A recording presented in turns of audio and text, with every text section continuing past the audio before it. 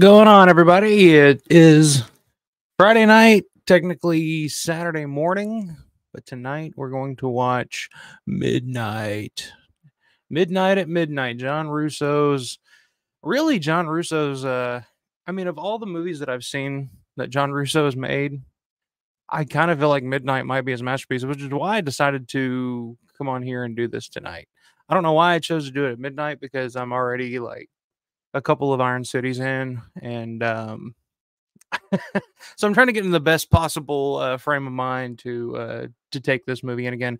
But yeah, like I said, I think it was on the last stream. The, uh, I, I recently just watched John Russo's Midnight for the first time a couple of weeks ago, and uh, and I'm kind of torn. I don't know. I don't like. It's not the greatest movie in the world, but for some reason, when it was over, I felt. Uh, I, I, I was just I kind of dug it. I don't know what it was about it. It was just, it's just a really weird movie. Um, it's uh it, it's cool seeing John Amplas. Uh, this is 1982, so this is right around the time of Knightriders Creep Show. Uh, although I think it was filmed in 81. It's cool to see John Amplas. It's cool to see Lawrence Tierney, uh, which uh, me personally, and I think a lot of people probably uh, remember from uh, like Reservoir Dogs and stuff like that. Um, So it's just an interesting. It's an interesting movie. I don't. I still don't know if it's good, bad, or just is what it is. Um. So we're gonna watch that tonight. And I figured, you know, what what what better way to watch Midnight than at midnight? Um. So we're doing it here, late night. Alpha Romero After Hours, I guess was what we're gonna call this. Uh, call this episode. Um. So we'll go ahead and hop into the movie. If you would like to watch along, there is a link down in the description. Um, uh, it is available on YouTube. I think there's a couple of different versions on YouTube, but the link that I'm watching is down in the description below if you want to watch along and uh, and go through this with me. Um, so I'll give you a couple seconds if you want to queue it up, but we'll go ahead and get into that. Uh, there's a couple of news uh, tidbits um, I wanted to touch on here before we get into it. Um, I, am not going to spend very much time because I, I, I don't know if I want to be here all all night. Um, but uh, I just recently saw that on Tubi. It's a Tubi original. There is a, um, I guess what they're calling. I, I haven't seen it yet. I watched like half of the trailer and I said no, I'm good. Uh, but I will watch it. I'll probably. It's probably one of those things that I'll do like an actual review video here. Um, but it's the Soska sisters. Apparently, they've done a direct sequel, quote unquote, a direct sequel to Night of the Living Dead called Festival of the Living Dead. Uh, it's available on Tubi right now. Uh, I think it uh, was it today that it was first released. It was either yesterday or today uh, when it was released. Um, so yeah, I'll be watching that at some point uh, because I'm, you know, I feel like it's my duty you know, anything. And, you know, I mean, there's been so many, you know, offshoots of Night of the Living Dead over the years, you know, and, and, you know, Night of the Living Dead 3D, Children of the Living Dead. Uh, I think even, you know, the original, you know, John Russo's original concept for Return of the Living Dead was supposed to be kind of a direct sequel to Night of the Living Dead. Um, I'd be lying if I said I'm interested in what this is going to be because man, that trailer, the trailer looks terrible. Um, but I try to see that's why I try usually when I go see a movie or, or you know there's a movie that I want to see I kind of avoid trailers although I did see that the Maxine trailer has been teased um you know the Ti West um Mia Goth trilogy I guess is what we'll call it the Mia Goth trilogy uh the Maxine trailer is supposed to drop on Monday so I'm kind of excited to check that out because that's kind of one of those things that's been you know uh you know kind of up in the air for a little while uh, when we're going to see anything from that. And I'm really excited because I was a big fan of X and Pearl. So I'm excited to see what he has in store with Maxine. Uh, but yeah, usually I try to avoid trailers because trailers are, I don't know, they, they trailers in general just kind of turn me off to most movies now. Like if I go to the movies and I see like all the trailers at the before the movie comes on, it's it's I just roll my eyes. I'm just like they're all the same. It's the same shit. There's a you know. Uh, you know they take an old song and they slow it down and put like echo on it and make it eerie or what it's just like it's the same shit every time you know um so I try to avoid trailers as much as possible. So I'm gonna give it a shot. Uh, we'll see how it uh, how it goes. I've not heard good things um, so far from people that have seen it. Um, but uh, so yeah, I'll, I'll, be checking that out. We'll, we'll talk about that. Um, but we do have a winner. Um, the final uh, bracket challenge matchup is uh, I'm calling it. It's over. Dawn of the Dead has come out on top. Uh, it is officially George A. Romero's best film uh, according to you guys, the uh, viewers and subscribers of this channel.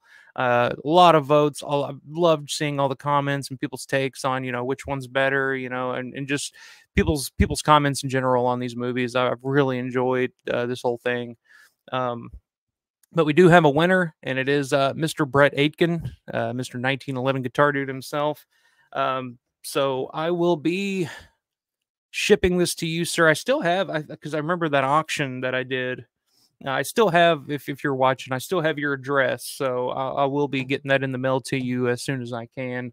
And uh, congratulations. You get, I mean, you got that's like, like I said, guys, this, this creepshow steelbook is kind of becoming somewhat of uh you know somewhat legendary and you know for the physical media collectors um so even if you're not a big physical media guy if you if if uh, you know if you want to you know sell this sucker on ebay i've seen them going for 60 70 bucks uh already and uh you know they're kind of getting hard to find at walmart um so congratulations man you did it. Uh, i think you're actually the first person to submit a bracket so you, your uh, your tenacity has paid off. Uh, I really uh, really appreciate it. And I appreciate everybody that entered the contest. It was really fun. It re- made March go by really fast for me because it was like every day there was like a new you know uh, poll up on the channel. I'd always go back and look and be like, oh, is you know how is anything competing with Dawn? And it was like no. Uh, I think the final vote.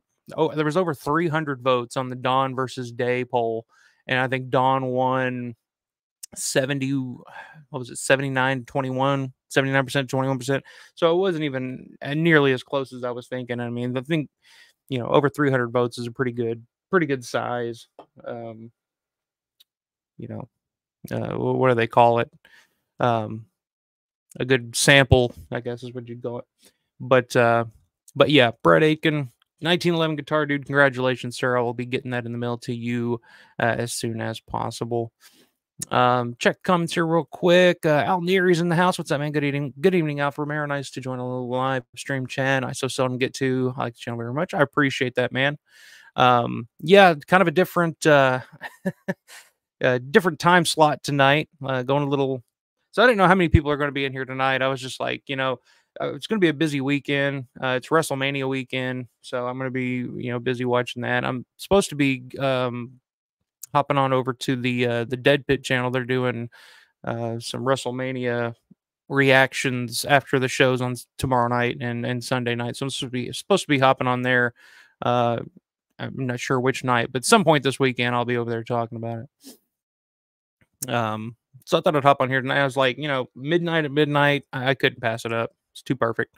Uh, I always thought uh, Midnight was unfairly overlooked, except by British censors in the video nasty area era, I suppose. Yeah, I mean, um, yeah, I don't I, like I said, I don't know how I feel about this movie. I'm, I'm, I'm. This is my second viewing. Uh, I'm going to um, really give my thoughts, really break it down, and, and try to figure out, like, uh, you know, what is it that I, I enjoy? But I, I kind of enjoy anything that that you know the Romero connected Pittsburgh, even the worst of the worst, like maybe outside of like Children of the Living, but even Children of the Living Dead, you know, you get the first 10 minutes with Savini kicking ass, and that's, you know, like I remember when I rented that when I was younger, when I saw it come out, I was like, oh, and that first 10 minutes, and Savini's just kicking ass left and right. And I'm just like, this movie's fucking awesome. And then, um, you know, spoiler alert, they kill off Savini within the first 10 minutes, and the rest of the movie is a fucking shit show. But, uh, uh, Al Neri says no film featuring John Amplas and Lawrence Tierney can be all bad as far as I'm concerned. I agree. I agree. Um, it also stars uh, uh oh what what's fucking guy's name? I got his IMDb pulled up here. The the main cop. He's in uh Knightriders. I can't. His name's escaping me. Uh, Greg Besnak. Uh, he's the big bald guy with the mustache. He's also in Knightriders. He's one of the the bikers that kind of hijacks everything at the end of the show. Don't forget your basics. Um, there he is, 1911 Guitar Dude. What's up, man? Thanks for sending Creepshow Steelbook. Looks awesome. If you need my address again, let me know. Will do. I like I said, I still think I have it um, from last time I mailed you something. Um, so, uh, but if I don't for whatever reason, I'll definitely get in contact with you, man. But yeah, congratulations. I mean, like I said, I don't even own this, so it, it's pretty pretty freaking cool. And I do love the art. And I've heard people go back and forth about the artwork. Some people love it. Some people are just like, ah, I don't know. Um, but I personally, I, I think it looks, I think it's gorgeous. I think it's it's a hell of a collection. And I mean, two disc, you got you know your your 4K, your Blu-ray, all your special features and your extras, commentaries. I mean, it's it's it, it's a hell of a collection here. Scream Factory did. That's one thing I will say about Scream Factory, especially with you know, I mean, they've released this Creepshow, you know, what three times now but man, it's loaded with features and and like I said, the the transfer on this one of the best best looking transfers I've seen um, for a Romero film, especially. Um, it looks looks great. It looks as good as you would hope it would be, you know, with it being creepshow and all the colors and all the wackiness. So, uh, but good to see you in here, man. I, I appreciate you uh, appreciate you playing and submit that bracket. And like I said, it came down to uh, it's funny how that the bracket worked because the the point system and all that. So basically, the guys that you were competing with, uh, Brian Marin and Matthew Soros, um, they had Day of the Dead as their final winner, and the fact that Day of the Dead they they ended up like near near the bottom of the the total ball. So it's it's it's pretty interesting to watch. But uh, good to see you in here, man. So yeah, like I said, I'm about to uh, about to start the movie. We're gonna get this started, so we're not going until you know um, daylight tomorrow. Uh, if you guys have questions or anything you guys want to talk about outside of the movie, uh, just shoot them in the comments here. Um, like I said, I don't know how many people we're going to have in here tonight or how active the comments are going to be, but uh, feel free to uh, to take over and, and have a good time staying up staying up late with uh, with me tonight watching John Russo's 1982 to me, I mean, from from what I've seen, it's John Russo's masterpiece. It's 1982's Midnight. Like I said, the link is down in the description below if you want to hop on and watch along. Um, I'll give you a couple. I'll give you a couple more minutes to do that here real quick, and um, let me check, make sure volume settings and everything are good here.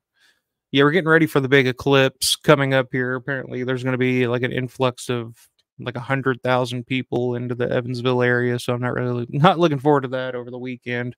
So it's going to be a shit show. But yeah, um, like I said, this weekend I'll be over on the Dead Pit channel at some point talking about WrestleMania. So if you guys want to hear me, you know, if you guys are wrestling fans, you want to hear me talk about wrestling, um, that'll be the place to do it.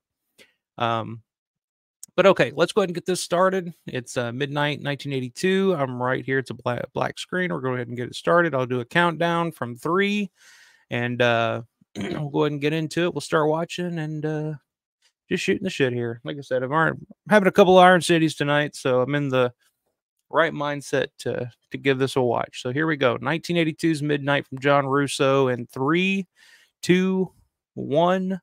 Press play now. All right. All right, so we're rolling. Nice shot of the uh, rural landscape outside of it. I'm not exactly sure where all this was filmed. Um, like I said, I'm fairly new to this movie, so I'm I don't know how much I'll be able to, you know, comment with any fun trivia, but uh, but it definitely, you know, definitely looks like rural Pittsburgh in the uh, the winter time.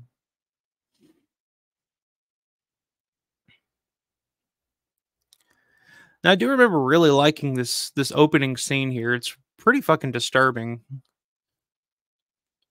again, and you know, the acting wise is what it is. But the idea of this mother, like, kind of leading her children, they've caught this young girl in a bear trap, and it's kind of interesting after watching it for the first time, you know, a couple weeks ago, and actually knowing who all these characters are now. It's kind of it's it is kind of funny to see them as kids here because you know they're children. Um, But of course, as the movie goes on, you know they they're they'll grow up. But you can kind of see the mannerisms or costume design, I guess, mostly of who these. Yeah, see, so that's like the big fat guy who's like carrying the body. Like that scene's hilarious. I can't wait for that scene where he's like coming down the hill with the body in the sheet, and he just like quickly just like turns around and runs the other way. It's just a weird, awkward, awkward scene.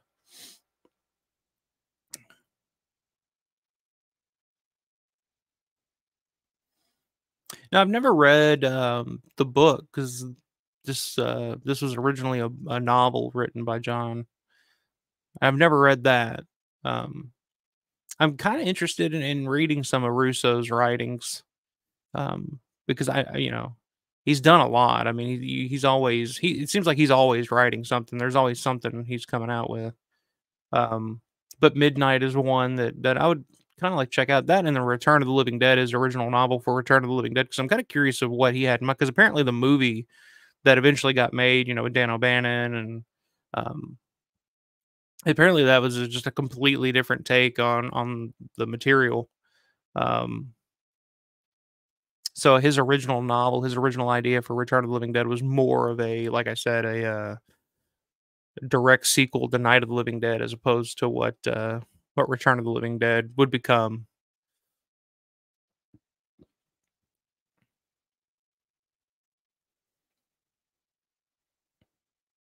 Something about, you know, evil children that's always uh always effective. Especially when they're um you know, kind of in a in a cult setting with uh with their mother as the leader. I do like this bit of music here over the credits. I will say that. Credit sequence looks pretty cool. I think I think the credit sequence works. I mean, if nothing else, the credits look cool.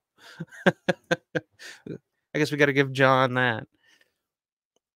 But yeah, John Amplas starring, based on the novel Midnight by John Russo, edited by Paul McCullough, constant contributor and collaborator with uh, with Russo over the years. Casting by Ray Laine, of course, everybody remembers Ray Laine from There's Always Vanilla, Season of the Witch. Um, and he worked with Russo. Um, yeah, he, he, I think he had a small role. You wouldn't even be able to recognize him um, in the booby hatch. But Ray Laine does have a small role in the booby hatch. She's got like long hair and a beard. It's kind of hard to tell if, you, if you're not looking for him, you're not familiar with special makeup effects by Tom Savini.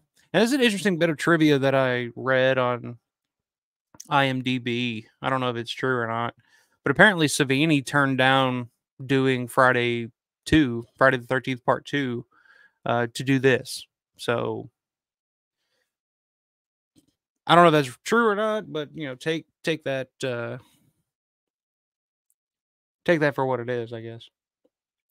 But yeah, Ray Laine worked with uh, with Russo and, and and the and the boys the booby hatch. I know he worked on this. I'm not sure if he worked on anything after this.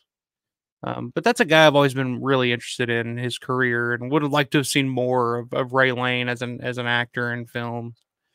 Um, looks like Paul McCullough, John Rice, assistant cinematographer. Dawn of the Dead fans out there will recognize John Rice. He's the uh, uh, police officer, the the SWAT team guy in the the building raid scene where they're raiding the the tenement. Um, he's the the younger blonde cop who you know has the shotgun, ends up shooting himself. That's John Rice. and he actually has a really awesome collection of behind the scenes photos that I did, you know, it's probably been going close to a year, you know, a year ago that I did the stream. But he actually there's a collection of John Rice behind the scenes photos from Dawn of the Dead that are, you know, pretty pretty amazing. So if you haven't checked those out, um, you can go find that that stream and give it a watch because those photos are pretty damn cool. And John Rice is one of those guys that like I see him he does he does conventions. Like I see he's usually at uh, so over in the UK there there's kind of like a UK version of Living Dead weekend called Weekend of the Dead. And it seems like he, I've seen him at that show a couple of times I but I've never seen him at a, like a Living Dead weekend, and that's like a name that I would love to meet is, is and talk to is John Rice because not only was did he have that role in Dawn, but you know he worked on you know Midnight, worked with Russo, and um and of course you know worked behind the scenes on Dawn. He was pretty much there for a lot of the shoot uh, on Dawn of the Dead, so that'd be an awesome guest that I would have loved to have met. Um, so I don't know if they'll, they'll ever get him for a Living Dead weekend or something. I'm not sure why he's never done one. I don't know if there's a, like an issue or something. Uh, you know, I, I, don't know. But like I said, I know he does the uh, Weekend of the Dead over in the UK. So I don't know if maybe he just lives over in England. Maybe that's where he lives now. I, I really don't know. There's the. Uh, I'm just going on and on about John Rice here. I'm not even watching the movie. There's uh, Lawrence Tierney as a uh, drunk, abu- uh, sexually abusive stepfather cop. I think he's a stepfather in this.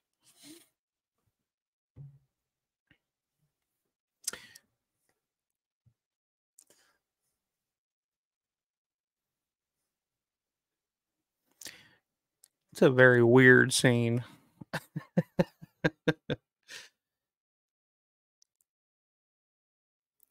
But the interest, the weird thing about this, you know, we'll, we'll get there as the movie goes on. But like I said, I just watched this two weeks ago. But the weird thing that was hard for me to reconcile, you know, with watching this is that he kind of becomes the hero in the end. This horribly sleazy, which would never happen in a, in a movie today.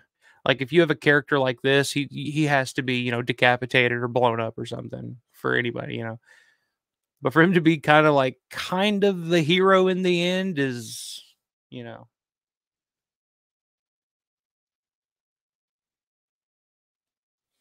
It's a little out there. But it's funny when I hear his voice, all I can think of is, you know, Mr. Blonde, Mr. Blue, you know. I just think of him from Reservoir Dogs more than anything. But he's been in like a ton of things. Let's look at Lawrence Tierney's uh, IMDb.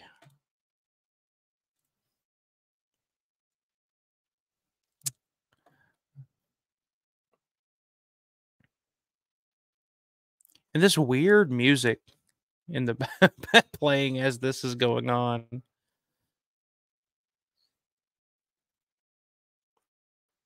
So let's see, he was in Armageddon 98. His last movie was 2003. When did he uh Well, he died in 2002, so I guess that was filmed before he'd passed. He was 82 years old when he when he died in 19 uh, or 2002. Uh I guess he had a voice role in The Simpsons. I don't think anything else I've seen. I guess he had some TV roles, Silk Stockings. I remember that. Reservoir Dogs, of course. Seinfeld. He was in an episode of Seinfeld. House Three, the horror show. Uh, Naked Gun, and Files of Police Squad. Oh yeah, he's the manager of the the baseball team. I didn't even realize that. I've seen that movie a thousand times. Uh, looks like he was in an episode of Tales from the Dark Side. Silver Bullet. He was in that. Stephen King. Gloria. Was in Gloria, The Prowler. So yeah, I mean, just a ton, ton of movies here over the years, and just movies, TV shows. Let's see, 102 credits. So pretty impressive. For Lawrence Tierney. Uh, Al Neary says, Someday I'd like to see a straightforward adaptation of Return. The novel has its points of interest. Um, yeah, like I said, I, have never read the novel, so I'd be really curious to see where where Russo was originally wanting to go with that. Uh, Al says, if I recall correctly, Midnight takes place on and around Easter. That is the looming cult sacrifice of the heroine, seasonally appropriate. yeah, I talked about that last week. I was kind of like, because I did the stream on Saturday and Easter was the the next day, and I was talking about Midnight and seeing it for the first time. I was like, you know, maybe I want to do a watch along of Midnight, give that another shot And uh, you know, as I was doing the stream, I was like, "Fuck, tomorrow's Easter." And I remember there's a in the movie they talk about they want to do the sacrifice and He was like, "Fuck, that would have been a great, a great Easter stream." Is watching John Russo's Midnight on Easter, but we're close, like you said, seasonally appropriate. I'll I'll take that. Um, but yeah, I totally should have done done this on Easter as a uh, Easter special, the John Russo Midnight Easter special.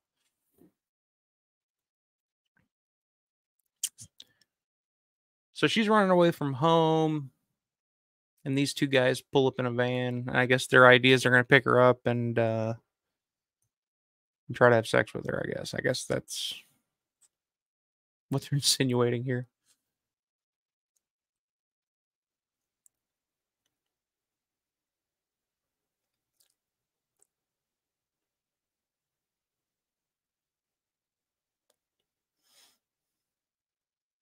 So hearing, I've I've listened to some interviews in preparation for this, and just out of pure curiosity at midnight, um, listen to some interviews with with John Russo about it, talking about uh, apparently he lost a lot of footage. Um, know, he was explaining there was like you know light flickers or something on some of the some of the film or, or something. I don't, I don't can't remember specifically what it was, but apparently you know he lost a lot of the footage and a lost he said he lost a lot of the best takes so he was kind of piecing it together with you know second and third best takes.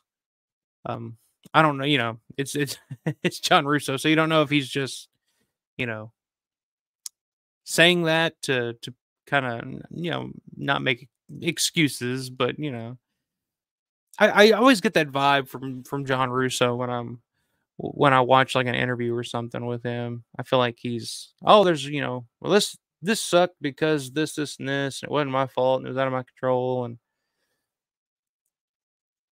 he he really hates Children of the Living Dead. His name's on it, but he he wants nothing to do with that movie.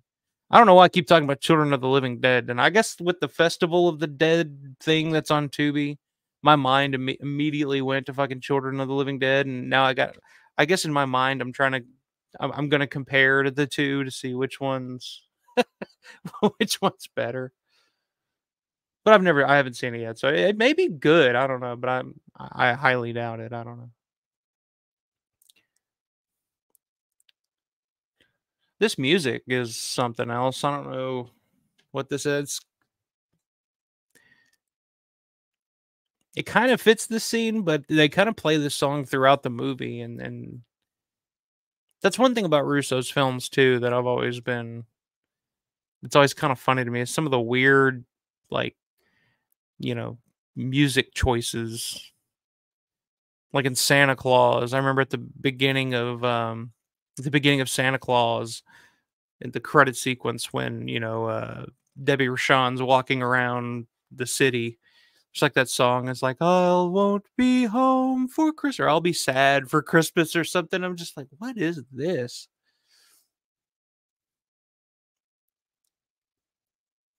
But I guess this piece of music kind of works for this thing because they're, you know, on the road. She's running away. Oh, I missed that that shot of her hitting uh hitting the Lawrence Tierney's character in the head with the phone or the radio, I think it was.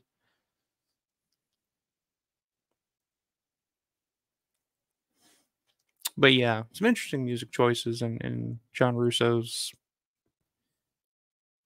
filmography.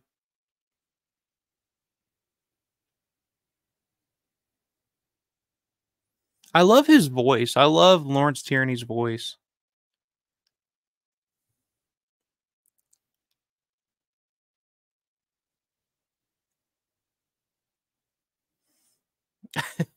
it's like his casting in Reservoir Dogs is just perfect, I think.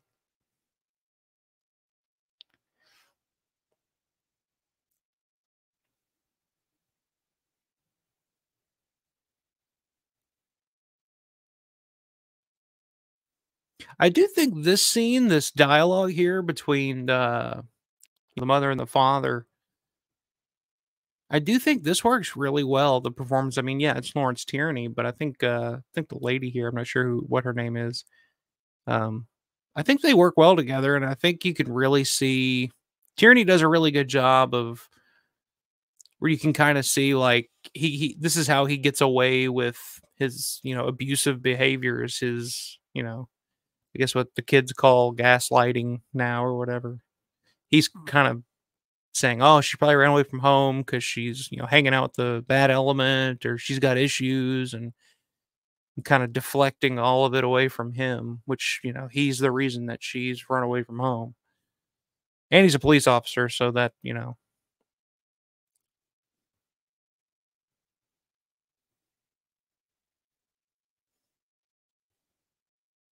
And you believe it because this kind of shit, you know, really happens in real life.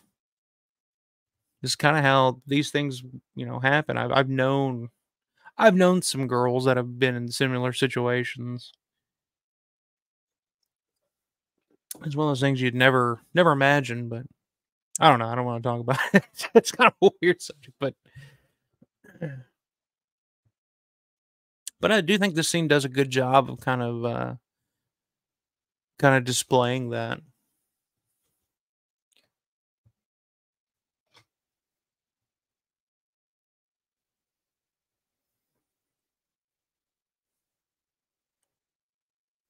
Again, it's really weird that they kind of make, you know, kind of make this character the the hero at the end, but what can you do?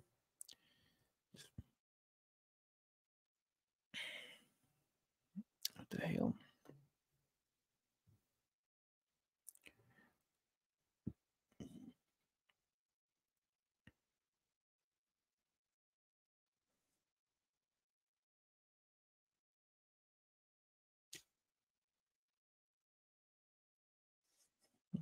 I do think this dialogue works. It is, uh, you know, it's a little. Oh, now we're back to the. You're on your own.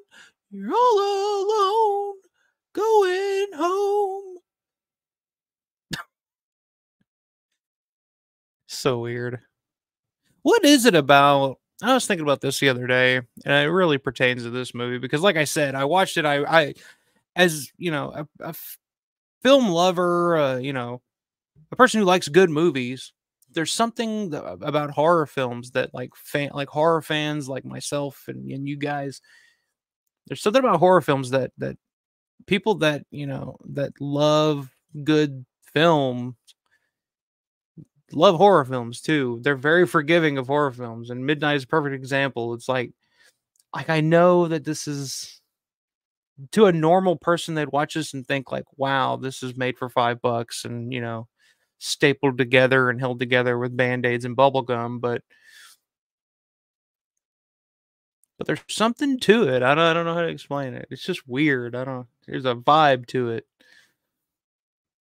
It's hard to explain. But yeah, there's just something about horror fans that they're very forgiving of things that like you normally wouldn't be too forgiving of, like a bad comedy or a bad action movie. Even well, I guess action movies too. I mean, a bad action movie can still be pretty pretty fucking entertaining. But you know, it's like a, just a bad movie. When you see a bad movie, you know it's like, oh, this is a bad movie. I never want to watch this again.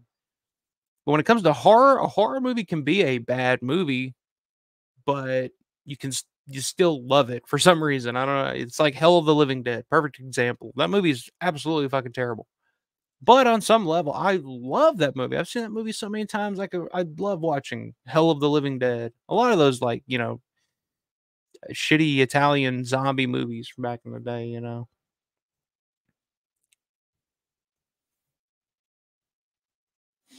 but yeah, I, I don't know. I've always wondered what is it about horror films that that you know horror fans are, are so forgiving of when it comes to like every aspect that that we would normally judge a movie on. I just think it's interesting.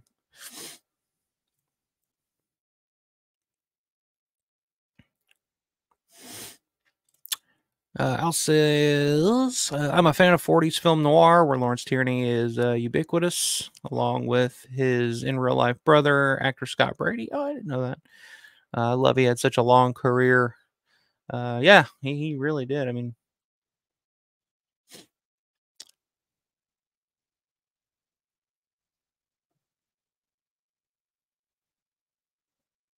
so we're getting introduced to the pastor here. but yeah, Lawrence Tiern. I mean, like I said, 102 credits, acting credits to his name, and like even stuff before this. What are we, you know? What was his first movie? When did he do his first movie? 43. 1943. Gildersleeve on Broadway. Uncredited as the uh, cab driver. A lot of uncredited stuff, but I guess his first credited role would be 1944 Youth Run Youth Runs Wild uh, by Larry Duncan. Never seen any of those.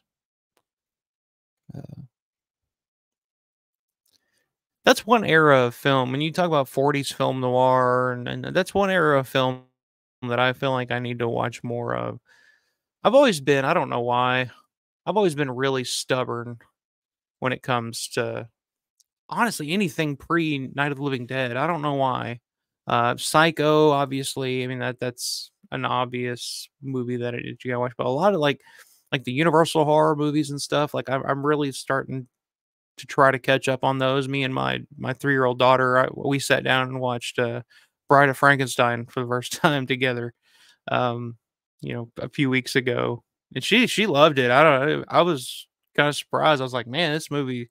Uh, I was kind of just testing her to see like how long is she gonna last? Because I mean, it's a fucking you know 90 year old movie at this point, in black and white, and it's like, how's a three year old gonna take this? But she was she was drawn in. I mean, it was it was pretty insane. She loves Halloween and monsters and stuff like that. So I feel like it was a good way, a good introduction. I'm not trying to, you know, scar her for life or anything being like, hey, let's, you know, hey, three year old daughter, let's watch uh, Henry, Portrait of a Serial Killer or something like that. You know, let's watch Maniac. Uh, but uh, but yeah, I'm trying to go back and, and really watch a lot of those older movies.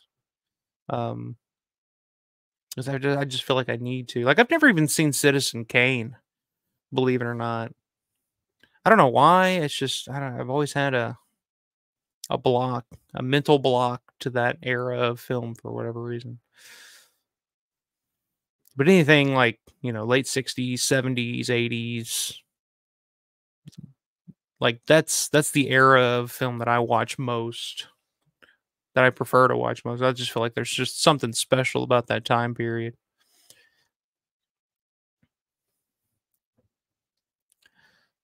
So I think we're about to get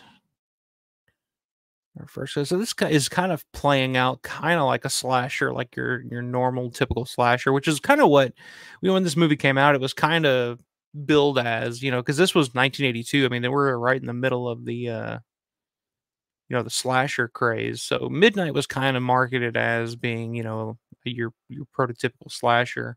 I think it's a little different. I feel like it's more in the vein of like a like a you know not I, am I'm, I'm not going to compare it to Texas Chainsaw Massacre, but kind of in the vein of like a knockoff of Texas Chainsaw Massacre or something. You know.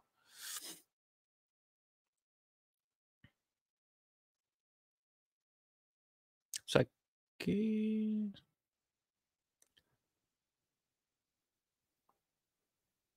like this piece of music here. And of course, I, I didn't. I don't think I mentioned it, or maybe I did.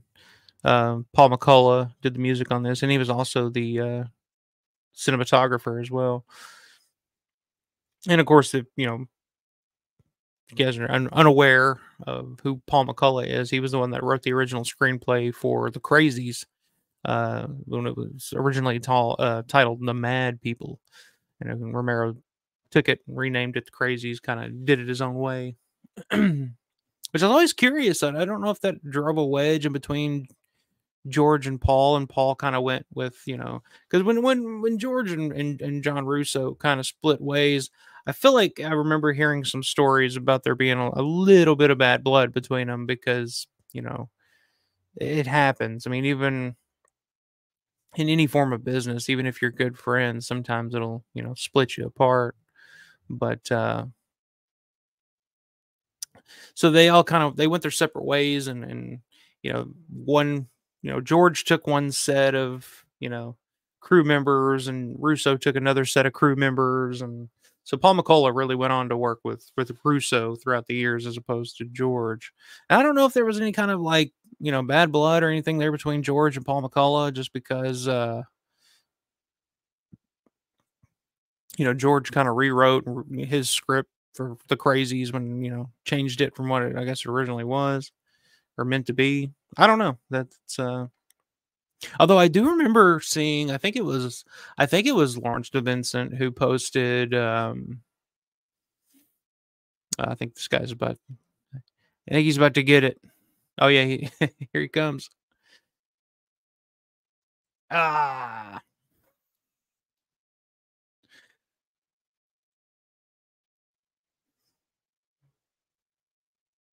It's my stabbing sound effects there. But yeah, I think it was Lawrence DeVincentz posted a um it was an article in a magazine from early to mid 70s. I don't remember what the magazine was called, but it was an interview with Paul McCullough on the, you know, Night of the Living Dead and making, you know, the, you know, working with Latent Image and all, you know, working in Pittsburgh throughout those years. And uh I remember I haven't read the article, but I remember I think Larry commented on it. It was interesting hearing Paul talk about George, and, and he was kind of not shitting on George, but just kind you could kind of tell that there was some animosity there between the two. So I don't know.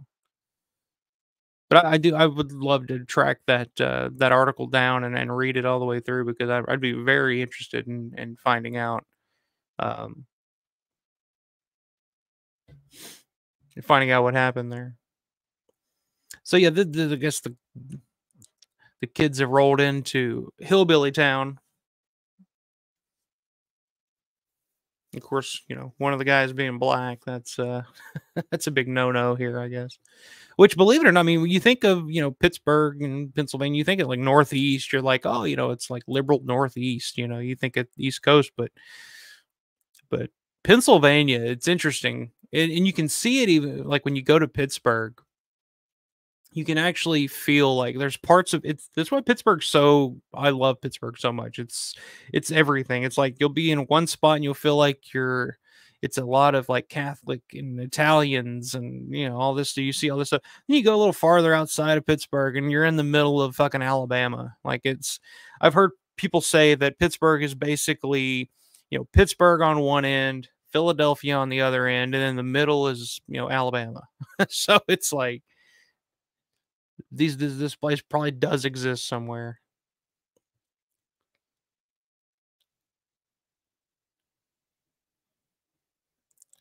Those rednecks probably enjoying the whole thing. I guess Harrisburg is probably where a lot of them are. Uh, Grande's Graveyard is up. What's up, man? late night tonight, Alpha Romero Alpha after hours, Alpha hours, I guess we'll call it. But uh, yeah, everybody, Grande went in and uh, got to got to watch Day of the Dead on the big screen tonight. We were talking about that earlier. Very, very. That's one of that's one of the Romero films I have not seen on the big screen yet, and that's one that I would love to see on the big screen at some point. Um, Midnight is a brutal film. yeah, man. Like I was saying, like I don't. That's why I'm watching it again tonight. I watched it for the first time a couple weeks ago, and I I left it like as I was watching, I was like, man, this is really bad. This is, you know, it's it feels very Ed Woodish. I don't I don't know. But after it was over, I was just kind of like, you know, I, I kind of dug that. I don't know. I don't know why. There was something about it. I was just like, I kind of dig it. I mean, to me, it's like I it, from what I've seen of John Russo's films, I mean, to me, it's his best film. So I, I it's not saying much, but for what it is, and I think uh, I think the budget on on Midnight was like seventy. Uh, I want to say Russo said seventy one thousand dollars, which in nineteen eighty two was, you know, insane, insanely low budget. Um, so you know, seventy one thousand bucks it's not so bad. Come on, man. It's not so bad. Uh, random question since you mentioned the crazies and Paul, what do you know about Lee Hessel? I honestly know nothing. I, I don't know too much about Lee Hessel. I know he was basically kind of a distributor. Um, he worked, you know, with there's always vanilla, season of the witch, and the crazies. Um, yeah, I, I, I don't really know too much about Lee Hessel. I know that, you know I've heard some stories, you know, where he, he had these like, grandiose ideas of how to promote the crazies uh, by having guys in the white suits, you know, walking around Times Square, you know, when the movie opened. Um, that's that's kind of the one thing I've always heard about Lee Hessel is that he was a very creative. Like his ideas were much bigger than his capabilities, I guess. Like his his promotional uh, ideas, um, and of course, he would constantly rename and, and try to like he was the one that he's basically the guy that would you know rename the films and try to sell them as something else. Like instead of it being jack's wife it's hungry wives. He tries to sell that as like a soft core you know sex picture or something. It didn't sell so he changed it to season of the witch. Crazy same thing. He tried to sell it as you know code name trixie at one point. Um it's always vanilla of course. Uh, i think the original title of that was the affair. So i mean he was that kind of guy. He was there's trying to sell this movie any way possible. If we can sell it as a horror film or we can sell it as a softcore porno film or what do we got to do to sell this picture? Um, but yeah, I've always always heard that he had you know grandiose ideas and maybe not not quite the the capability of pulling them off. But but yeah, outside of that, I, I don't really know too much about Lee Hessel. I'd like to. uh that is a good idea is to kind of dig in and, and see see what I can find about him. I I thought that when I first saw that, I thought this kill here was a little weird. Didn't make much sense to me first time I watched it. Let me see if it makes any sense to me this time as I watch it.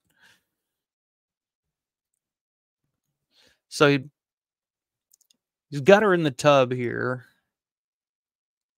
And uh, it's understandable. I mean, he's a big dude. He could hold her down like that. I guess just kind of waterboarding her or choking her. It's a pretty brutal way to go in a way, I guess. What are those shoes? What is she, a fucking astronaut?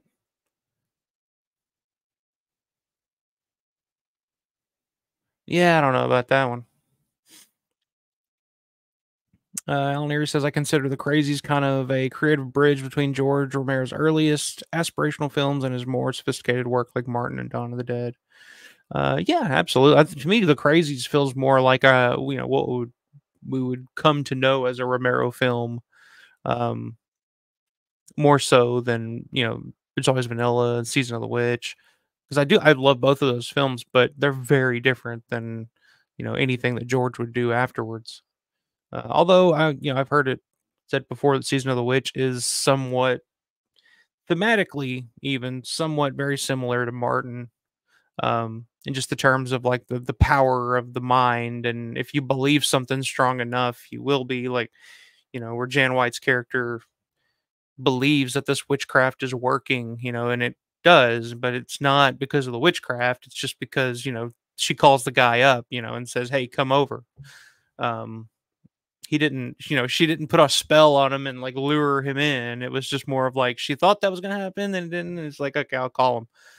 Uh where you know whereas martin thinks he's a vampire and you know he thinks strongly enough and he craves blood you know i don't know. But uh yeah totally totally agree on that. The Crazies to me kind of felt like george was trying to figure out how to how to you know is the first step in trying to figure out how to how to pull off Dawn of the Dead, in my opinion, in terms of the editing and the pacing and stuff, especially because the crazies in Dawn of the Dead, in terms of the shots and the editing and the pacing of it, are very very similar. A lot of like steady, you know, static shots, a lot of quick cuts. You know, it's very mean, before music videos. I mean, Romero's style, his editing style, was very, you know, music video MTV style editing. Um, just a lot of you know a lot of coverage and a lot of cuts. But it worked. I mean you know he made it work. So again we're hearing this fun little song as they're grocery shopping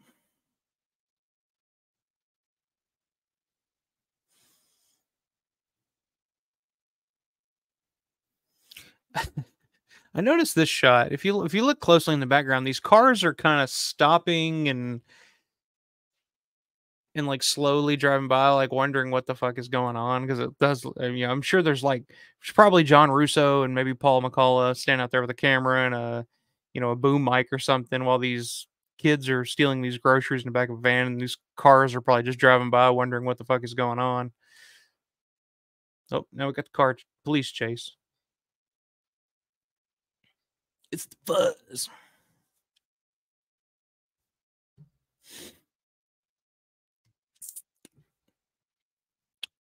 Uh, Al here with a little information on Lee Hessel. Lee Hessel was one of uh, many indie distributors based in Times Square, New York City, who specialized in exploiting the loopholes of the new MPAA rating system to deceptively uh, market regular films as softcore porn. Uh, interesting. Yeah, I mean that's basically you know,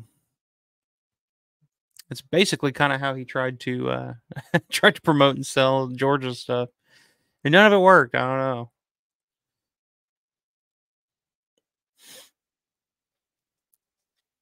God, the siren sound effect is it's gonna drive me out of my mind.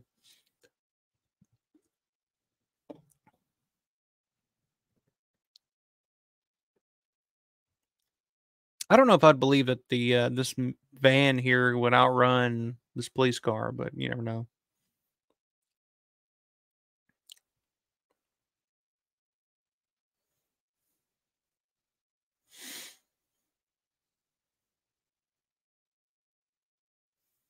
Oh, the siren effect. wow, wow, wow.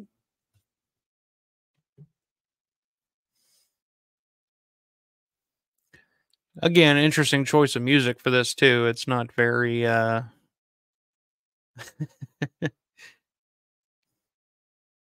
I guess you got to do what you, what you got to do here. Which is kind of, you know, that's what you got to respect about John Russo. If nothing else, the man did what he had to do to get to get his films made. I mean, the dude made dude made films, and uh, that's something that a lot of people can't say. A lot of people love to do, but a lot of people can't say uh, that that they ever you know got a film made. But Russo, come hell or high water, was going to make a movie, whether it was piece of shit or not. Dude made it multiple times. This actually, I, I did had no idea, but apparently there's a sequel to Midnight that came out like 1993 92, something like that. I don't know where the hell you'd find that, but it is, you know, John Russo written and directed sequel to it's Midnight 2. Oh, I love that shot. I don't know why it cracks me up. It's hilarious. They're driving down this road, and the fucking fat guy with the the dead body like runs out in the road and like quickly, oh, turns and goes the other way in like one shot. There's just something awkward about that. it's classic. Uh, Grande said, "I would love to see you do a show on all Romero distributors or producers." That, that I'm sure at some point I will. I did that. Uh, I did that uh, stream on uh, Richard Rubinstein, his connection to to George. But yeah, that would be uh, that would be an interesting show to talk about.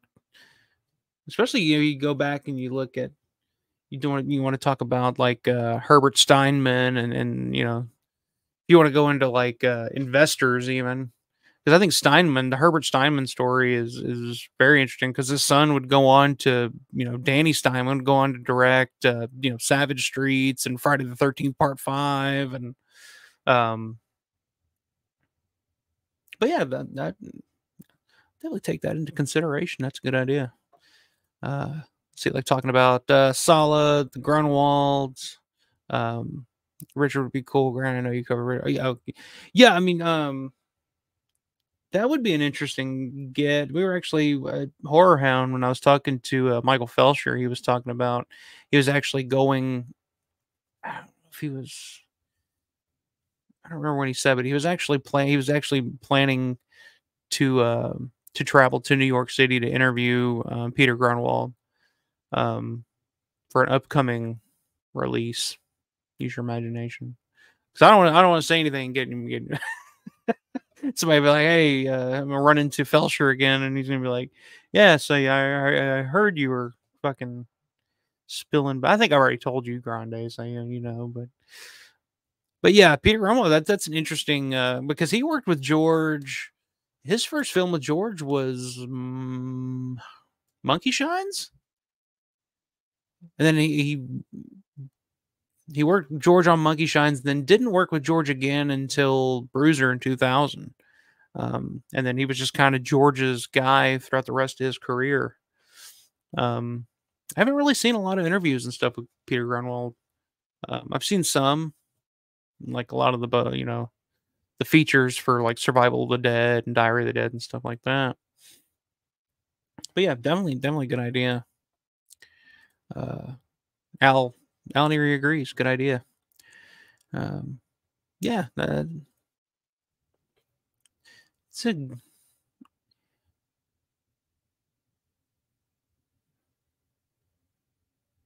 but yeah, Lee Hessel is definitely one that I'd like to do a little more research on, just because he, you know, that time period, you know, after Night and before Martin, I'm incredibly fascinated by that time period. And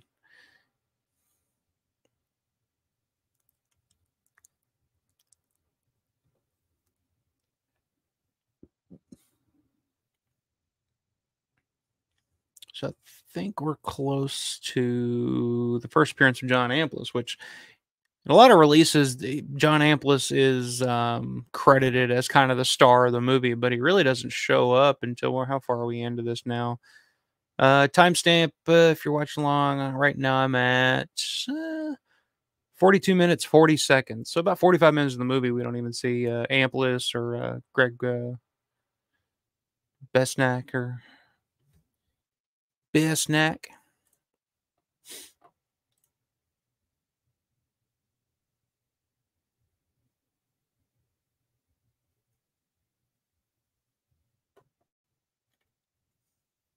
So is this? I'm trying to remember.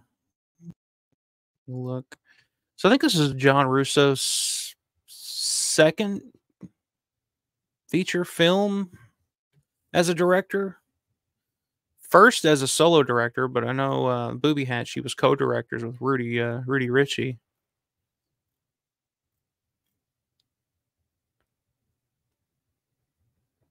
I'm sorry, but if I'm I in fucking middle of nowhere in the dark like that and you hear somebody laughing and be like, hey, is that you?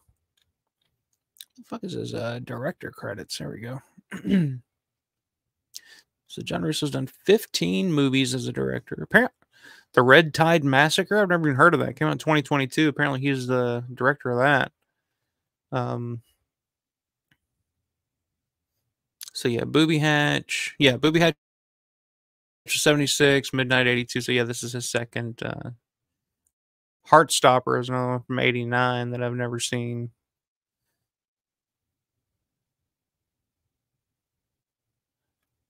Is this um sorry, I'm just looking at his IMDb at this point. It's a 4.9 on IMDb. Not a bad score. Not a bad score for it. So here we go. Lawrence Tierney is coming to the rescue. So weird. Uh, Grande says, uh, fun fact John Amplas hated Midnight. Yeah, yeah, I've, I've heard him talk about Midnight before. I've never, I've never, I don't think, I don't guess I've ever heard him say specifically that he hated uh, the movie, but I think he, he's just kind of like, oh yeah, yeah, I really don't want to talk about that kind of like uh, Gaylen Ross with uh, Madman, where she's like, "Yeah, you know, I did that, but uh, we don't got to talk about that." But I don't think I don't think Amplas does a bad job in this. I think it's a weird casting choice. I, I don't see, like, I could totally see the other members of the family as part of this, like, you know, redneck cult clan or whatever you want to call it. Uh, but I, Amplas doesn't it's a weird casting choice, I guess. Especially for an actor, you know, Amplas is, uh, I mean, you know, this is after Martin, this is after Knightriders. So Amplas, you know, Dawn of the Dead, I mean, you know, a couple of roles in Dawn of the Dead. Maybe he just wasn't as available. But I know Amplas was probably because I mean, like we mentioned earlier, Ray Laine was the uh, casting director on this, and I know Amplas and Ray Laine were were really really close friends, and they worked a lot, and then the Pittsburgh theater and, and stuff like that back in the day. So I'm sure that's the connection here. Is uh, I'm sure you know Ray put in a call to John and said, "Hey, you want to come be in this uh, this uh, movie, this slasher movie that we're doing?" I'm sure John was happy to because John, I've heard John just gush over Ray Laine over the years. Anytime you mention Ray Laine's name, I mean, John has nothing but the best things to say because unfortunately, uh, Ray Laine passed away quite a few years ago. But I would guess that that's probably the connection here. But, but hey, it's a gig. uh, you're saying, uh, trying to recall the name of Hessel's company, Cambist Films. Yeah, that was Cambist.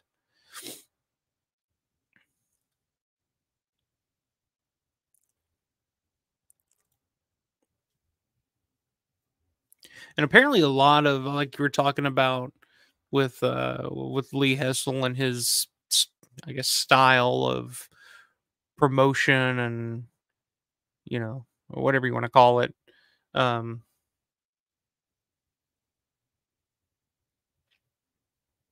but yeah he before i guess before he was before he picked up i guess it was there's always been um, before he picked up the There's Always Vanilla, that he, he Cambist was basically only doing like softcore porno films, and I think I think his I think him working with George, you know, with, with There's Always Vanilla and Season of the Witch, I think that was Hessel's attempt at um, at trying to legitimize you know Cambist films a little bit, but but again, he just kind of because they they kind of made some of the promotional materials for There's Always Vanilla kind of make it look like it's like some kind of softcore porn or something like that. So Uh, let's see. Hessel's promotional strategy for the Crazies strongly resembled Aquarius Films' handling of Dr. Butcher MD, with actors hired to wear bloody costumes in public displays and such. Great ballyhoo. Yeah, that, that's old, cool, uh, old school uh, promotion there. I've always loved the story. I guess I guess it would have been Richard Rubinstein who would have come up with this, but the story for I want to say it was Cannes when they took Martin to Cannes. I think it was. Um, he had a lot of those, you know, little guillotine um, things that Martin uses in the movie. With you, know, put your finger in there. He had a lot of those and just started like giving them out to people as kind of like a promotional thing. I would love to find one of those. I don't know if those exist or whatever happened to those. If they have, you know, if they were like the little, you know, magic kit guillotine, they had like the Martin logo on it or something. That would be something. If I was on eBay and I came across one of those things, like it'd be hard to pass. That was I've never seen anything. If it if it's even real, I remember I remember even where I heard that story. It may have been on one of the commentaries that uh, Richard did with George and uh, Tom I think I, do remember hearing him talk about that as like a way that they were trying to promote Martin with the little little guillotine. I was like, that's that's interesting. I don't know what people would get from that because it's such a you know just a small piece of the movie, but I don't know. Maybe I guess the idea that you know the magic isn't real. Maybe I, I don't know, but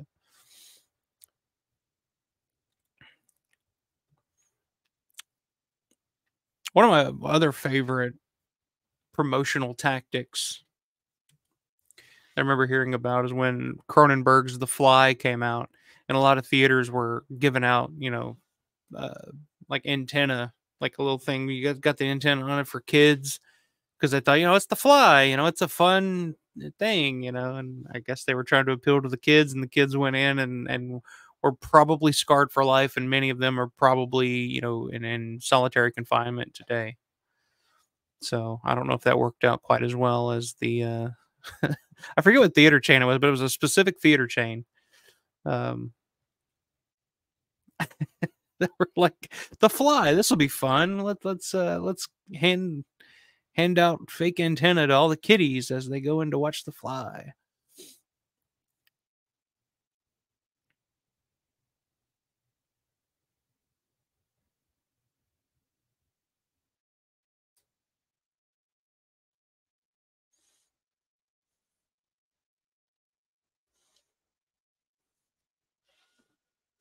Oh, he's making a run for it.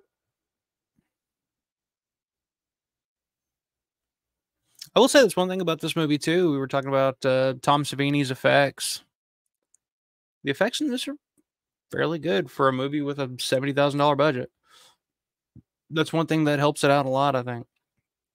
And I think Tom and and and, and John Russo were remained friends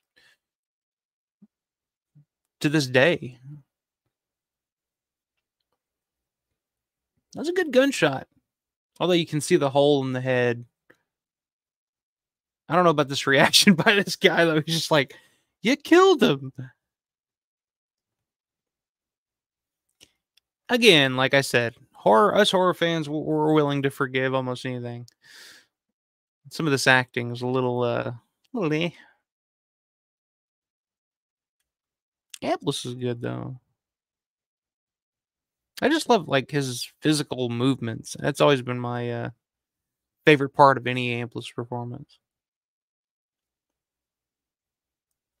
I just don't know about the casting choice of trying to make him a backwoods redneck or whatever you want to call it.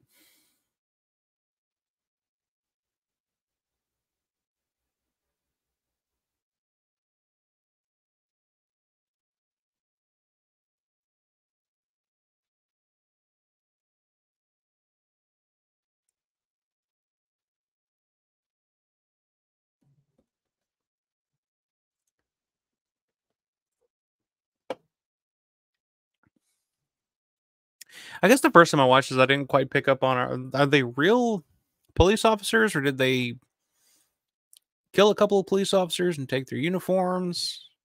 Hey.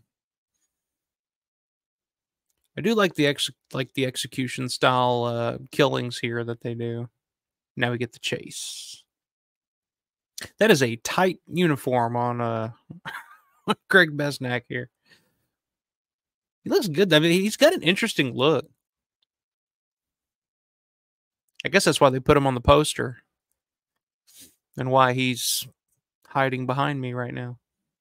Not literally, but you know, the background here.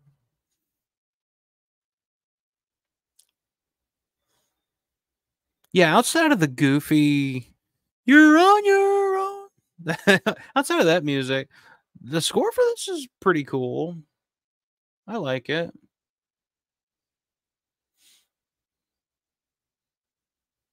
Minimalist, but I like that in a horror soundtrack. It's funny. I was actually talking to uh, Lawrence DeVincentz the other day about this movie because I he last week I, I mentioned that I uh, at Horror Hound come across an original one sheet uh, of, of Midnight. And it was like seventy bucks, and I was almost. Grande's gonna laugh. I was like, I was, I was almost trying to talk myself into picking it up. but after looking on eBay, because after I did the stream live, I did go on eBay to look to see if I could find any and, and to see what they were going for. 70 bucks was probably seven times worth what a lot of them are going for.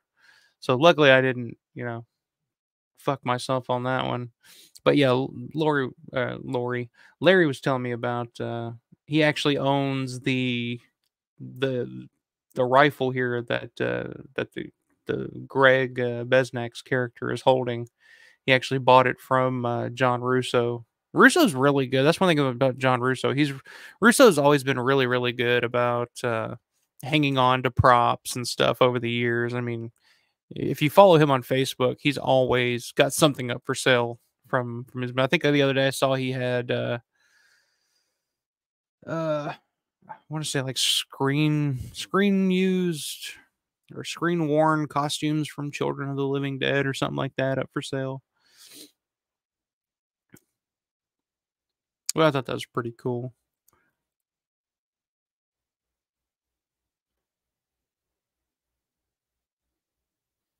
Hmm. That's not a bad scare. it kind of got me there as I was watching it.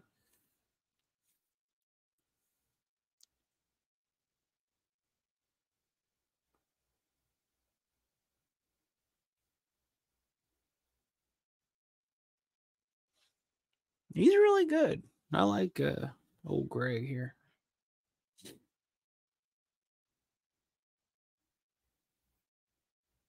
So now this is where I think we're coming upon the uh, the house of the family of the cult. I don't know. I kind of I kind of dig this movie. uh, second watch, you know, watch through. I mean, yeah, it's flawed. It's you know, it's it's kind of a mess in places. The acting is it is you know, well, kind of what you'd expect, but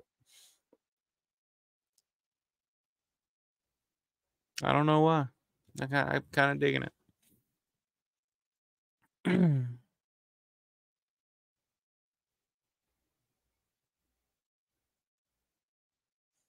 I feel like this is kind of where the movie picks up.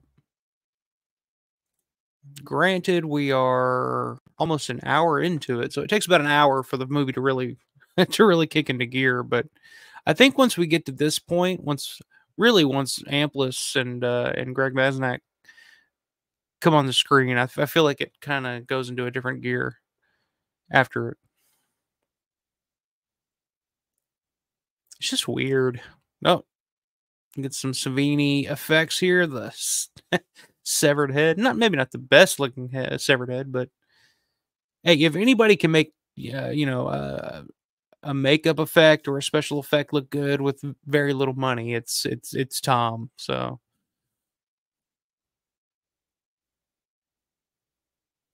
So I guess you know at this point we're still not sure if these cops are just bad cops or if they're in on it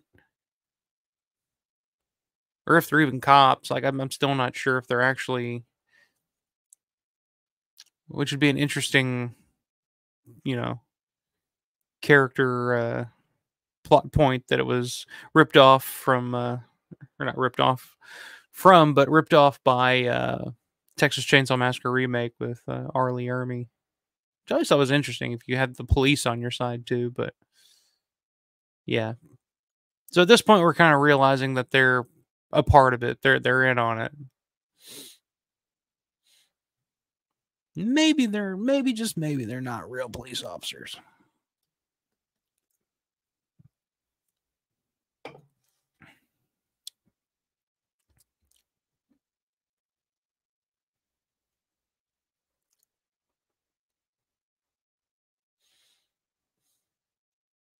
Damn, she like to shit him.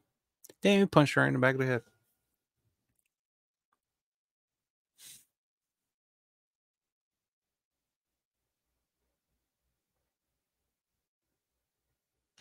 it's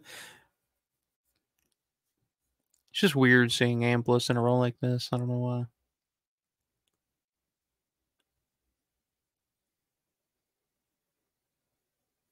Well, wait a minute. Oh, there we go. Lost lost sound for a second. But yeah, Amplas was actually on uh, the other night on the Garf network. Um, if you guys aren't haven't subscribed to the Garf network on YouTube yet, go check it out. I put a link to it in the uh, community section. But they actually did a, a, a, David Emge tribute video or tribute stream the other night. They actually had Amplas uh, on there talking about his friendship with uh, with David Emge because they actually you know worked together at Lady Astor's back in the day. Um, you know, before Emge got cast in Dawn of the Dead which everybody worked at Lady Astor's back in the day. Between Amplas and Emge and Christine Romero, which Christine Forrest at the time. Um, who else? Scott Reiniger, I think, worked there.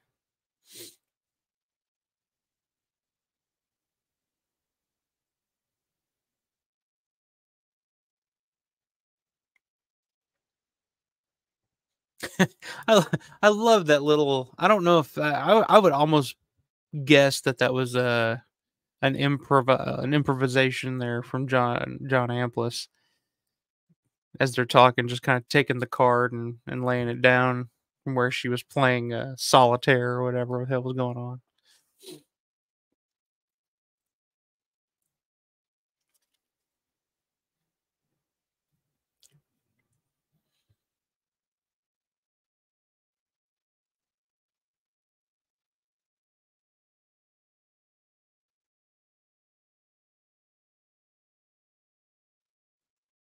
Again, I know it's probably budgetary, but I kind of feel like the girls in the the dog kennels here probably should look a little more roughed up than they do. It looks like they just kind of they're just kind of there and they're fine with it. I don't know, but you know, a little nitpick.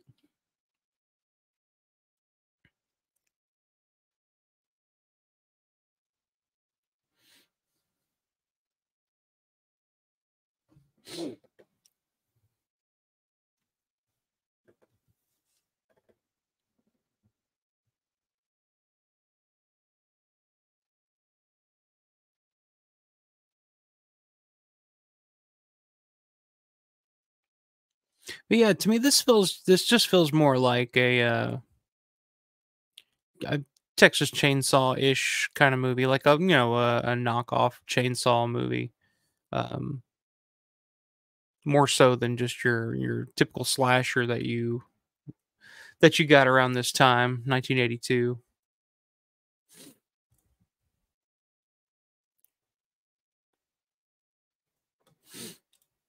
Uh, thanks for the link to the Garf Network Alpha. I didn't know about that. Yeah, man, check it out. There, they, it's been a little slow lately. Um, you know, past few months they haven't really done too much on there, but I think they're starting to do. I know uh, Matt Blasey and Eric Kent. They're doing a uh, live stream first Wednesday of every month, um, which they did. You know, the other day they did the David Emge tribute, which was great, great tribute show. Um, had a number of guests and some some uh, some different footage and photos and stuff that I'd never seen of David Emge, so it's pr- it's pretty sweet.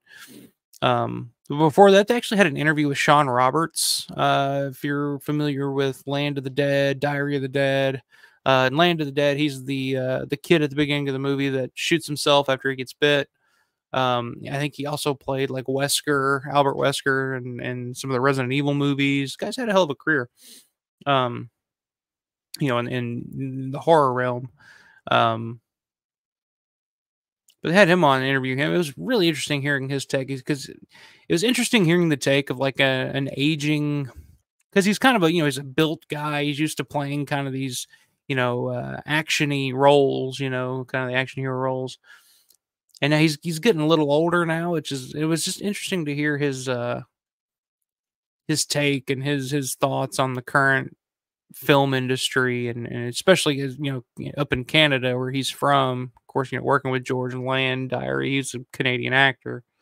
Um, just getting his you know hearing his um, his take and his thoughts on the current landscape of you know the Canadian films because if you remember that's why George did those films in Canada. Canada was kind of the place to shoot film back, you know, the you know early 2000s, you know, really through the 2000s, really, because it was cheaper. I mean, just the you know, it, you could go up there with, I guess it's the the currency exchange at the time. The um, so Canada was kind of a hotbed for filmmaking. It's and apparently it's not not like that at all anymore. It's it's kind of a shit show up there. So which you know Canada's kind of been a shit show in, in many aspects for the last few years, but whatever.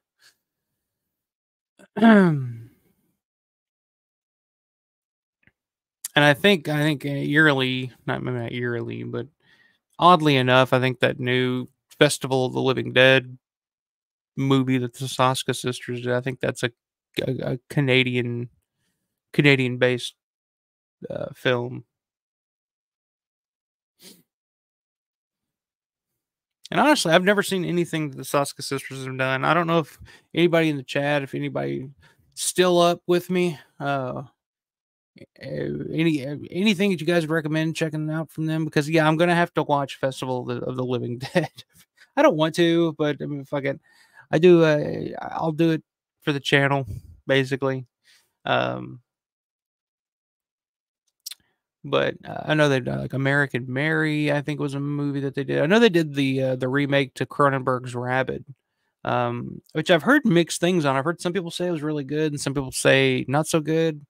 Uh, but that's one that I've been meaning to to kind of check out at some point, but I've just never have. So I don't know. I, I really don't know their work all that well, to be honest.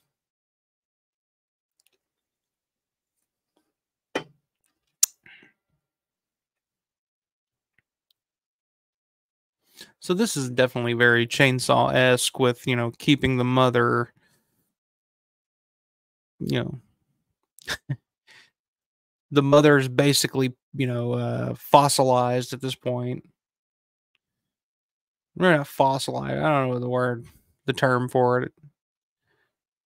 It's what time are we looking at here? It's past one o'clock. I know that. So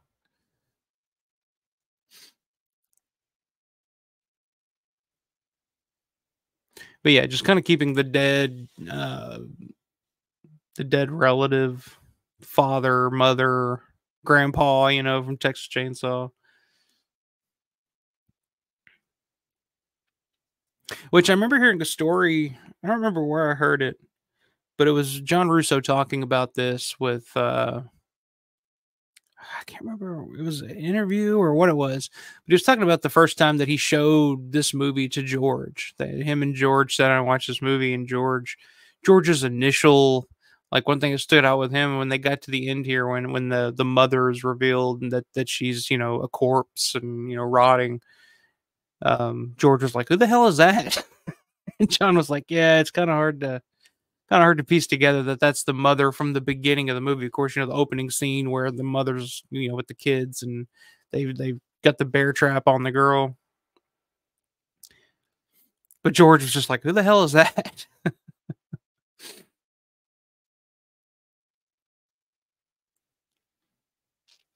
this was a fairly effective scene, if I remember correctly. I remember when I watched, I thought, you know, this is pretty effective it's almost home invasion esque which is like one of my biggest fears like that's why that's one of the scenes that's that's one of the reasons why i don't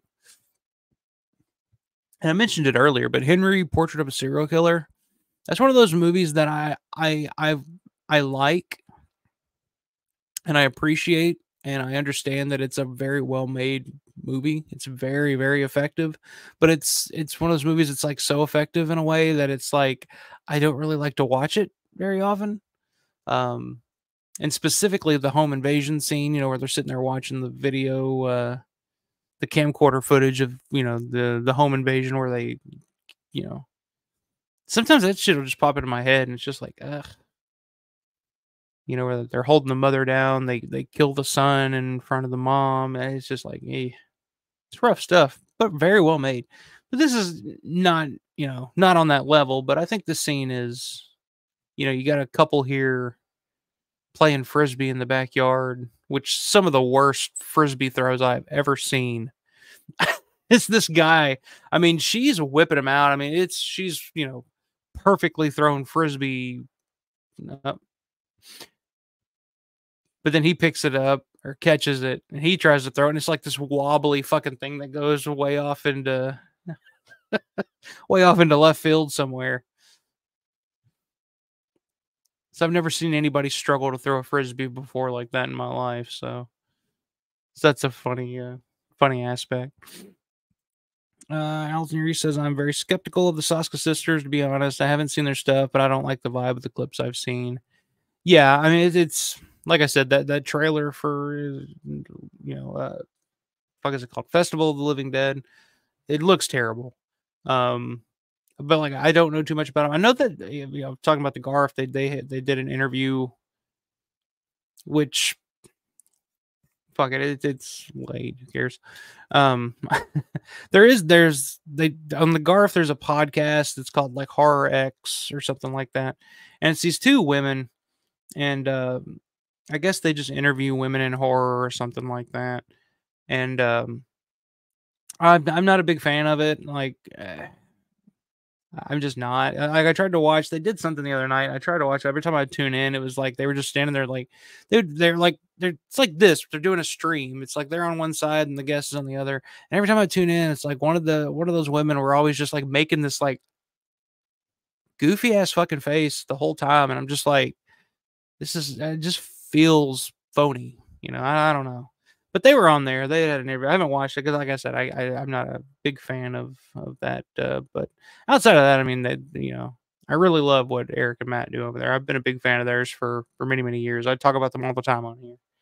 Um, because before that they were doing a podcast called WGON Radio, and uh, but, yeah, that the the horror X. I mean, I. God bless them. You know, I'm I'm sure they're they do some other podcast, and it's really just the one woman in in in particular that's like every time it's just like this phony over the top like oh it's so good uh, it's not for me i i i just just you know be natural man didn't mean to go on a tangent about that all of a sudden but whatever fuck it uh, I saw Henry twice in theater when it came out, and exactly zero times ever since. Twice was quite enough. Yeah, but I mean, I feel like you would agree that it is, uh, you know, a very well made film, very well acted. I think you know Michael Rooker is amazing in that. And Tom Towles is amazing in it. It's a great, great film, very effective, very well made.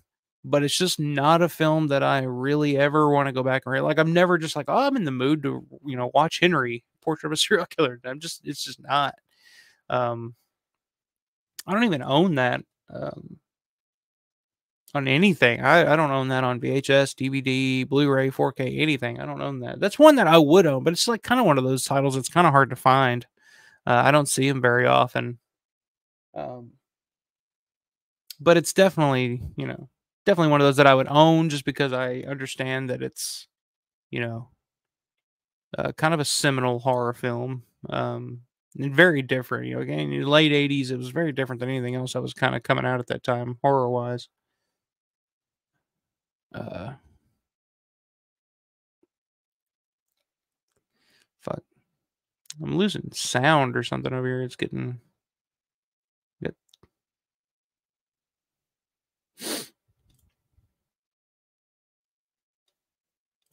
Agree. I just have to respect my own limits. Yeah. Yeah, some things I don't get, man. Some of the like some of the more hardcore like snuff, like almost like you know fake snuff. Like I like effects. Um, you know, Dusty Nelson's effects. Um, like that's a movie about like there's a snuff film in the movie and it's kind of about you know something, but it's a well-made movie. I I love that movie. It's a great movie. But some of the like stuff, like I know they were talking about. I think it was Rambo or I think it was Rambo Ruff talking about it on the stream the other night, talking about the the Fred Vogel, uh, August Underground stuff, like that type of stuff. I don't get it. Like I'm just like, there's got there's a certain type of person that's into that type of stuff, and I'm just I'm just I, that ain't me. I'm not in. that's not my that's not my thing. But you know, as Cornet says, some people like to have their uh, their balls nailed to step stools. I don't know. What's the other thing he says for the type of for the type of people that like it kind of thing? That's the kind of thing those people like. We'll go with that.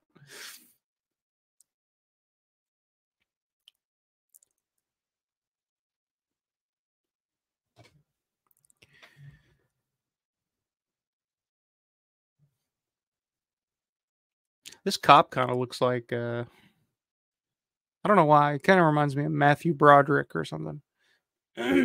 Excuse me. Yeah, he kind of looks like Matt, like an older Matthew Broderick for some reason.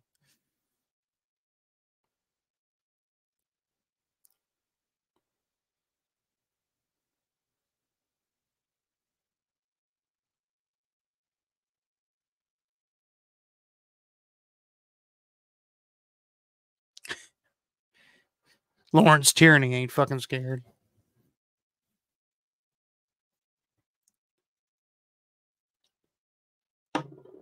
All right, we got like 20 minutes left.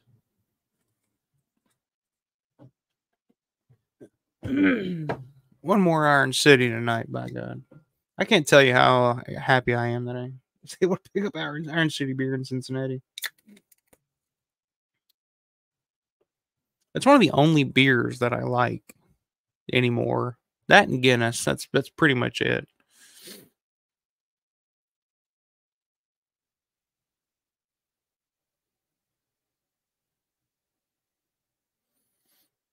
So now we're getting into the ritualistic sacrificing of the girls here.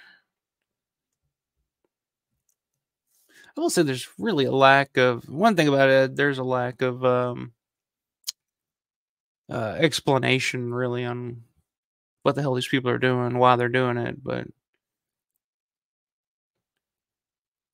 but again, that's one of those things about older films that I, I prefer. Like today, I I watched. Um, I didn't watch. I saw somebody post something about um, uh, the Lost Boys.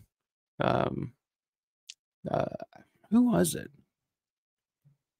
I think it was my my cousin's wife had never seen the Lost Boys, and he he he showed it to her the other night for the first time, and she was like, "Oh, it was good." And she posted about it. She was talking about like, "Oh, but it doesn't explain this, doesn't explain this, doesn't explain it," and it's like. That's I think that's the problem with a lot of modern movies now is they try too fucking hard to literally explain every single detail. Like they don't leave any room for interpretation or imagination. It's just like, well, this happened because in their past this happened, and then this it's just like then it gets too convoluted, and it's just at the by the end of it, you don't give a fuck. But I would like a little more uh, explanation on what what why these people are the way they are. I guess I, I guess basically they it's a learned thing. They inherited it from their their mother, you know, because we saw them as children. That's not a bad uh, throat slashing there. I'll, I'll give it that. Again, Tom Savini.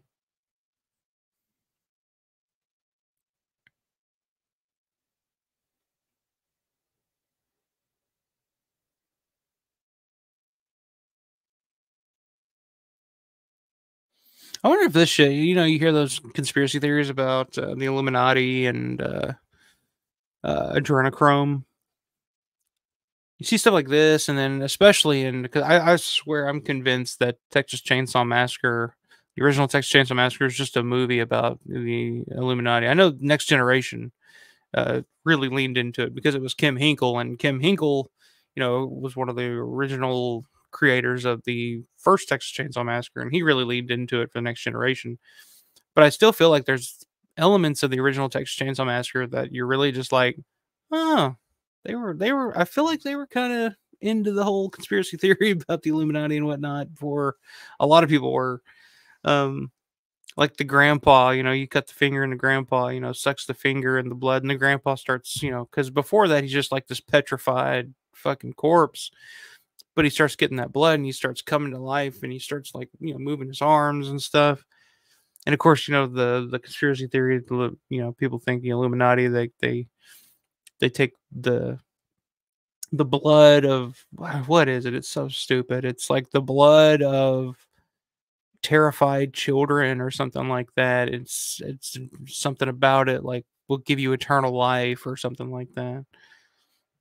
And that's why they're torturing Sally. They've killed everybody else, but Sally is there to be tortured and, and just endless fear, you know, so they can kind of harvest. I don't fucking know. That's why they're trying to get you know the blood and the. Uh, when they're trying to hit her with the hammer, you know, and the blood and the bucket thing, they're trying to, you know, uh, trying to harvest that blood for the adrenochrome. I don't know. It's it's 1.30 in the fucking morning, guys. My brain's all over the place. And I'm about four beers in, so which I know, four beers, what a pussy, but you know. I don't drink too often these days. So lay off me. Uh, Al Neary says, uh, My own guilty, not really favorite the rule sacrifice cult genre is Invasion of the Blood Farmers. Fun, hilarious stuff. I have never seen that. I don't even know if I've ever heard of that. Invasion of the Blood Farmer. That kind of sounds exactly like what I'm talking about with Texas Chainsaw Massacre, honestly. Let me look that up at this point. What the hell? Lawrence Tierney's on the case. He's he's he's gonna save the day here in a second. So, uh, what the fuck was that called? Invasion of the Blood Farmers.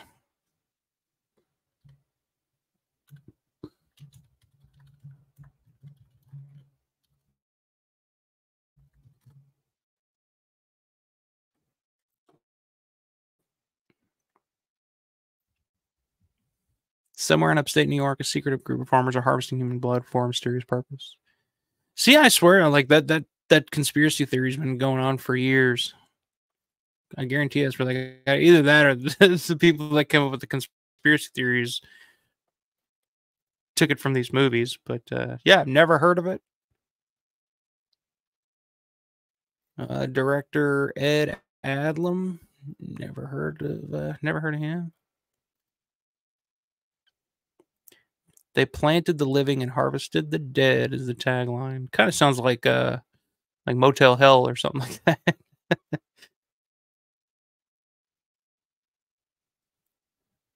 that. Quote Dr. Roy Anderson, old Jim Carrey dropped dead Sunday. Oh, that's that's a that's a phrase I don't ever gonna hear. I love Jim Carrey. Yeah, I might. I don't know where where, where the hell would you find that? I might have to. I come across that ever, I'll, I might check that out because it sounds like some. I love just old, low budget horror films like like this. Um, what was I watching the other day? Deathbed the bed that eats.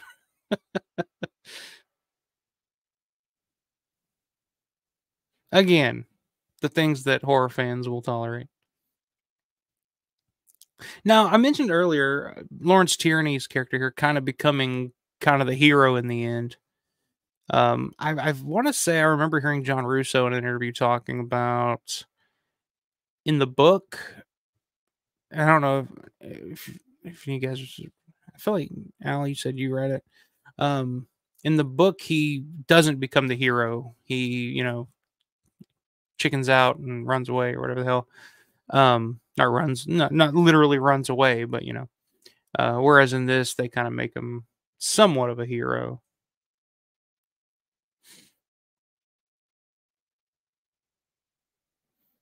So now they're sacrificing the other girl now.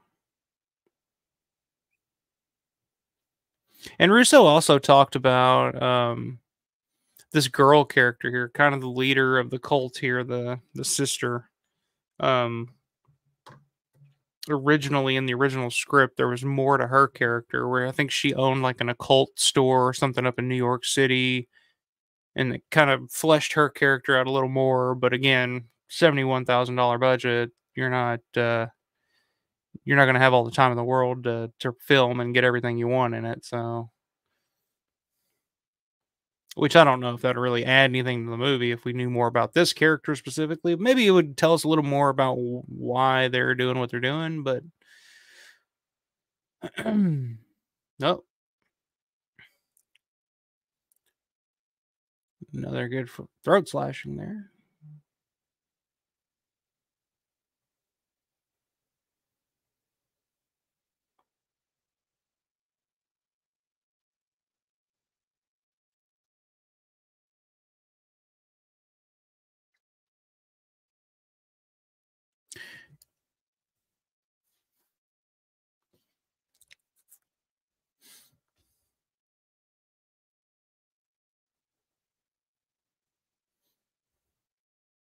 I can't imagine how bad the sequel is. not that this is bad. I didn't. I'm not saying that.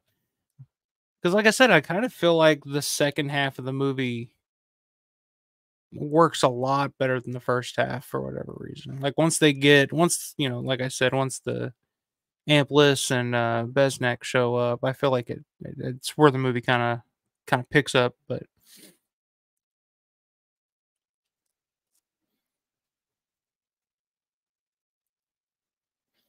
But I had no idea there was even a sequel in the early 90s. I mean, it would have been a right around that time where Santa Claws came out. So if it's anything like Santa Claws, I'm have to track it down and watch it. I don't care. Because even Santa Claws, I was telling Larry this the other night. I was like, you know, John Russo, his his movies are not the best. He's not the greatest director in the world uh I have a lot of issues with his stuff, but for some reason I appreciate it. And even something like Santa Claws, I can find something to appreciate about it. And I think it's mostly I love seeing Karl Hardman and Marilyn Eastman in something, you know, acting in something like that. Um just love seeing them in general in anything. Um so it was cool seeing them outside of Night of Living Dead, but I don't know. Like I said, you, you just got to appreciate John Russo in some way. Oh, Lawrence Tierney to the rescue. Damn. Flashlight to the head.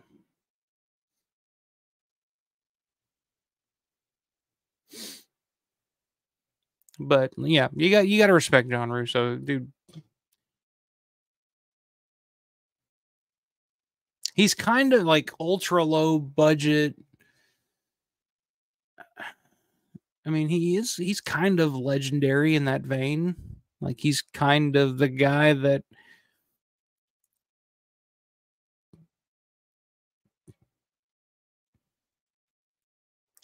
I don't mean this in a bad way, but it's almost like he had he had in a lot of ways, John Russo had no reason or no right, I guess, no right to make to make these films. Not, I don't know how, what I'm trying to say. Not that he didn't have the right to make the films, but it's like you just gotta love his determination and tenacity to just get these movies made.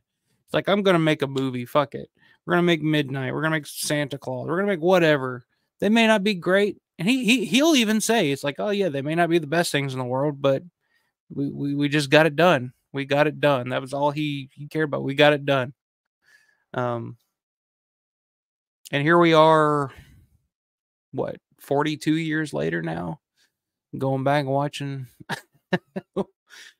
watching his movies. So say what you want. Gotta respect that. Now, that's a dumb move. I don't know why you would tell the guy to go back in the house. He could come back out with a fucking shotgun or something, but not the best for especially for a police officer, not the smartest move.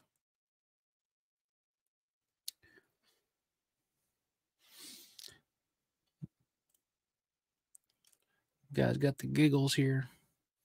So we got about five minutes left in this one. And I gotta say, like I I do like this movie for whatever reason. I, it just has a, vibe to it. Or what, what do the kids say these days? It's a vibe or something like that. I don't know. Fucking old guys. Trying to keep up. but yeah, there's just something about it. I, I dig it. music's kind of cool in parts. I love Lawrence Tierney. I just love hearing his voice. I don't know. I could listen to uh ooh good. That was a good gunshot. The effects, Tom Savini. I mean, you can't beat that. Can't beat Tom Savini at this point in his career, especially for the budget that they had to work with. But yeah, I I like it. I like it. Sue me. It's at least better than Santa Claws. I mean, shit. Uh, Alan says, I like unpolished amateur filmmaking over Hollywood Borefest crap any day. I don't care how awkward the performances are. Yeah, I mean, I am 100% with you. I was talking to me and my dad and my brother in law were actually talking about that the other day, just about, you know, AI and its effect on, you know, you know, film, you know, filmmaking and, and stuff going forward and, and into the future. And, and I'm I'm with you. Like I will take I'll take something like this. I'll watch something like this over a Marvel movie or something any day of the week. I I want to see something that reflects real life. I want to see uh, like I can watch this, I can see that these are real people, these are real places, real settings. I don't know, there's just something it's almost like it, it, it captured a moment in time. These movies, I like, like indie film in general. They capture a moment in time. Uh, it, it's their own flavor. Uh, whereas, like you know, your big time Hollywood productions, it's just, eh, eh, I don't know. I don't get anything out of it. Yeah, it's you know a fun little roller coaster ride you can take, and it's fun to see you know I don't know who's the big actor now. Ryan Gosling do something. I don't know. Which I like Ryan Gosling, but that's the only one that I can think of at the top of my head.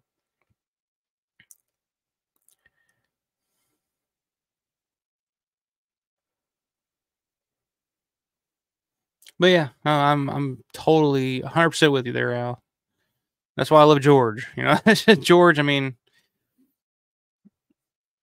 too late to get deep into it, but but yeah, George was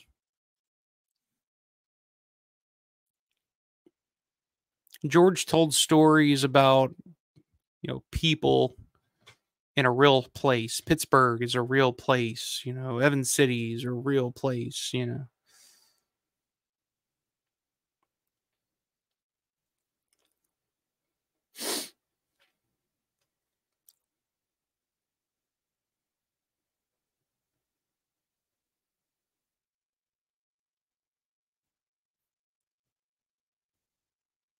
This ending is pretty good. I mean, I dig the ending.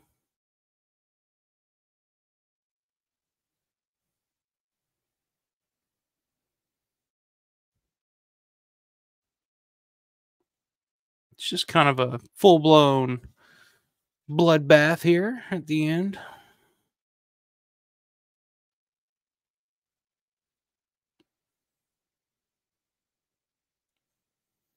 Uh, we're about to set this dude on fire. I don't remember if this worked well or not. I'm trying to remember.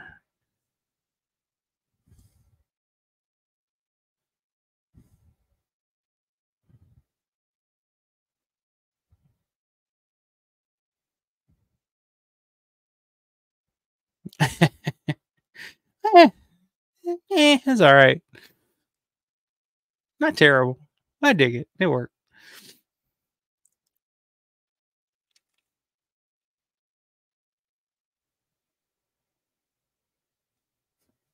Here comes that music. The end, an independent international presentation. Cast here. So yeah, I guess the next one we're gonna do, we're gonna do the sequel next, guys.